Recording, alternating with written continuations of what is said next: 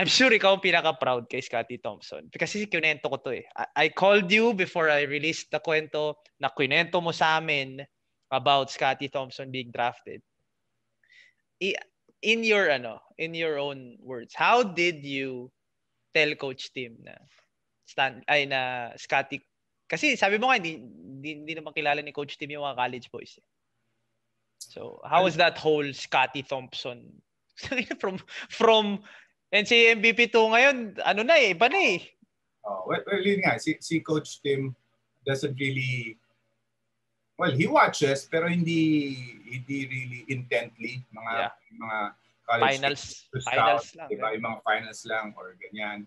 Um, so, he relies on his assistants to scout for him. So, tatanungin niya kami about certain players. And then, the ano ba yan? Eh, sakto, ano ka? Analyst ka nun eh. Analyst tayo. Oh, analyst tayo sa NCAA. So, uh, alam, ano tayo? The whole season. All, the whole season. season. Saka tinatanong mo na kami. Na, tingin nyo kay Scotty. Tingin oh. nyo kay Scotty. Ah, uh, okay, diba? Tinanong ko kayo kung anong tingin ko kay... Tapos, ang problem pa nga natin nun was you thought he wasn't asserting himself that much sa perpetual. He was not, yes. Oh, he, he was, was not. not. Yun yung concern mo pa. Oo. Uh, Masyado siyang uh, passive. Pasa ng pasa. Oo, or passive. Hinahayaan niya, di ba?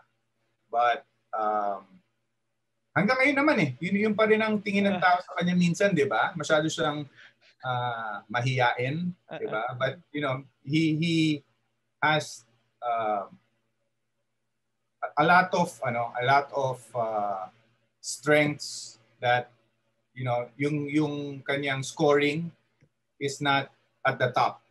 So he, he can still ano eh, he, he can still uh, um, help the team through other ways, diba? Like his rebounding, yung movement niya, his passing, his ball handling. So maraming bagay. Pero yung draft, so si, si coach nga hindi hindi siya ano, hindi siya uh, masyado nagsa-scout. So during the sinabi ko na sa kanya the, the night before, two nights before may may eksakto may game pang NCAA noon eh. Last game, yeah. Oo, oh, last game is Scotty. Sabi ko, coach, you take a look at this player, si Thompson nga.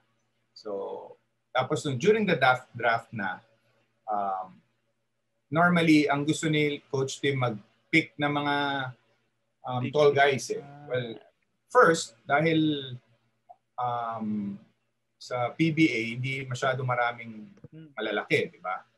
So, and then he likes to develop tall players. I mean, based on history, makikita mo kung sino yung mga na- na-develop niya through the years. So, yun yung gusto niya.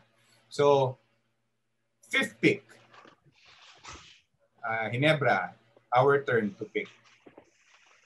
Available si Norbert Torres.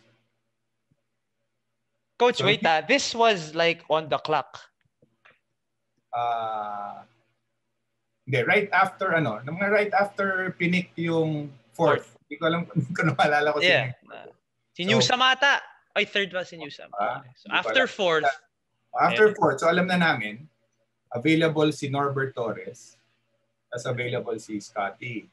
So, ang si Coach Tim was leaning towards a bid. Siya. So, tinanong niya kami.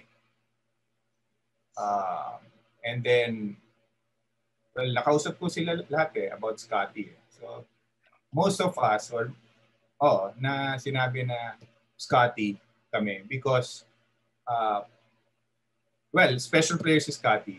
Plus, ano na eh, um, towards the end of uh, the careers of uh, JJ and si Mark. Mark. Diba? Patapos na rin yung career.